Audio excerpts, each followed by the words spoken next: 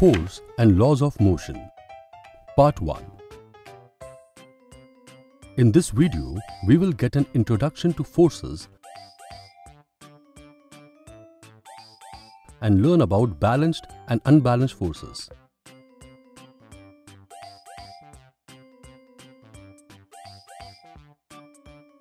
For many centuries, people were unable to completely understand the concept of motion. They used to think that the state of rest is the natural state of an object. However, scientists like Galileo Galilei and Isaac Newton debunked this theory and developed a completely new approach to understand motion. We have observed that to move an object at rest or to stop a moving object, we need to put in some effort. This effort applied to an object to change its state of motion or state of rest is an example of force. Force can change the magnitude of velocity and the direction of motion.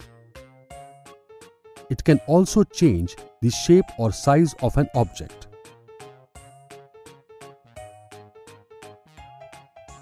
Now, let us try to understand the concept of balanced and unbalanced forces. Let us do one simple experiment to understand it better. Take a wooden block and place it on a smooth horizontal table. Attach one string on both of the opposite faces of the block. Now, if we apply force by pulling the strings, what do you think will happen? If we apply force by pulling the left string, the whole block will move towards the left direction. In the same way, if we apply force by pulling the right string, the whole block will move towards the right direction.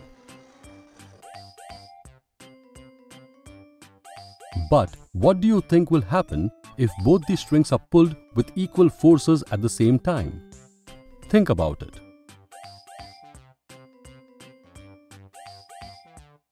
That is correct. The block will not move to either side. Since the block is pulled in two opposite directions with equal forces at the same time. The net force becomes zero and hence the block does not move. Such forces are called balanced forces. Here, no changes in the state of rest is observed. Now, what if we pull both the strings with unequal forces? Will the block still remain at rest?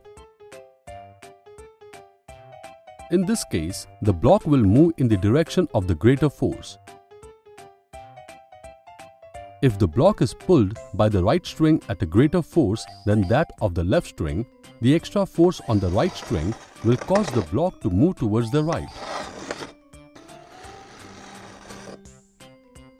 Similarly, the block will move towards the left if the pulling force on the left string is greater than the right string. Such forces are called unbalanced forces. Here, as the forces are not balanced, the block moves, that is, it changes its state of rest. Let us now consider another example of pushing a car on the street. If we push using less force, the car may not move at all. This is due to the friction acting in the opposite direction of the push.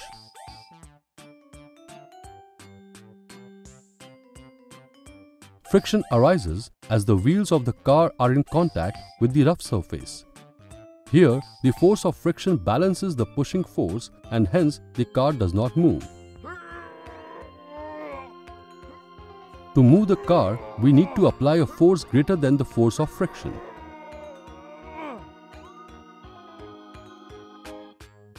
That is, an unbalanced force needs to be applied to make the car move. However, some people get the wrong impression that the continuous application of unbalanced forces will keep an object in motion. The correct understanding would be any object will maintain its state of rest or state of motion when all the forces acting on it are balanced and the net external force is zero.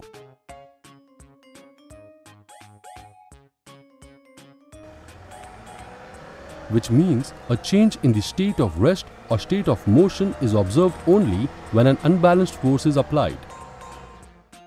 A body at rest may start to move as well as it may stop due to the application of unbalanced forces. An unbalanced force can either change the speed or direction of motion of an object. So, in this video, we got an introduction to forces and learnt about balanced and unbalanced forces.